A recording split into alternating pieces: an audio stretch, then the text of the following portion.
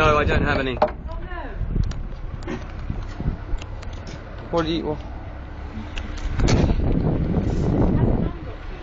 I'm sure she does. Yeah. I hope she does. We uh, Kate's just Locked us Kate's just looked us. But Mum's probably got her keys in Scotland. Can you get Here. through the back? There's a, a neighbour. No, no, we can't really get through the back. Oh, that's the point. I don't think there's any way we're getting over, is there? Oh, Is the back door open? It is, Yeah. isn't it? Yeah. yeah. We could do that. Uh, run up, ring on here, see if you can um, clamber over. I'm sure we can climb over. It's probably easier to get through from George's side, isn't it? I don't know.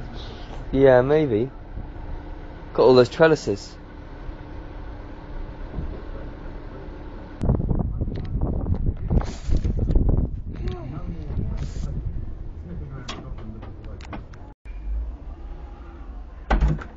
Sorry, how you doing? Alright, Um, right, I've got, I've, we've locked ourselves out of the out of our house. Oh. The door's just slammed, and I wonder if we can hop over the wall. Right, yeah. Because our back door's open. That's great.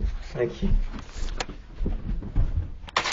It's great. What can I do? Oh, I can just hop up over here.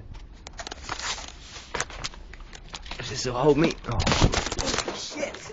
oh no! I'll get your proper chair. Right.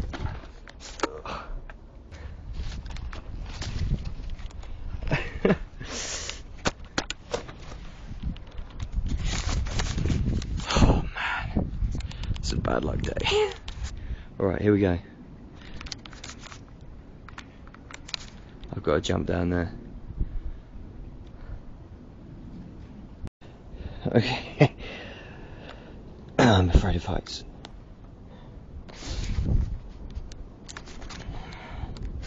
and uh, my leg is uh, starting to shake. and I'm not quite sure.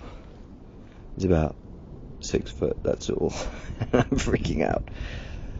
Okay, here we go. Uh, I think I better turn the camera off for this.